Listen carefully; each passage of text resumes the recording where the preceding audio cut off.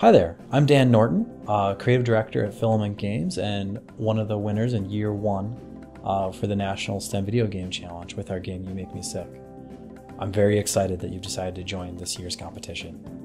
We were really excited to enter this competition because we felt that this field really needed an outlet and an opportunity for people who are making high quality educational games to uh, showcase their work and share what they thought would, uh, would, would succeeds and what doesn't. And so we were really excited to enter and just be able to showcase what we did. And of course, we were ecstatic about winning.